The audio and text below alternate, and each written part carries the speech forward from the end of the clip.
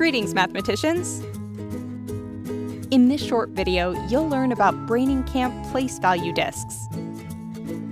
Once logged in, click on the Place Value Disks manipulative. In the toolkit on the left, you'll see the place value disks.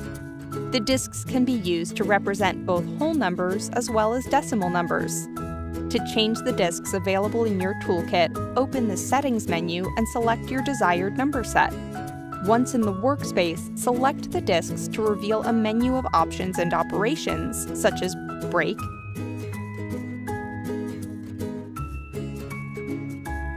and regroup. Additionally, you can turn on workspace labels to show the value of the disks.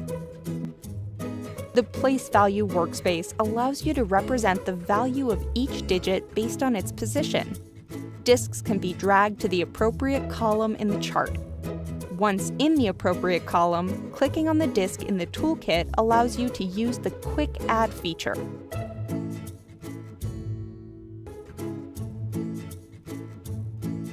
Click on the Place Value chart to reveal options such as Copy, Delete, Add Rows, and to turn off the counter labels.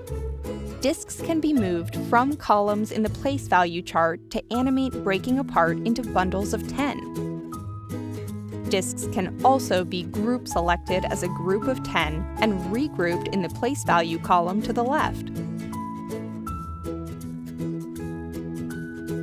Finally, the Comparing workspace allows for number comparison. Select the Comparison workmat to reveal menu options. Place value disks can be placed on the comparing mat. The symbol in the center of the mat changes accordingly.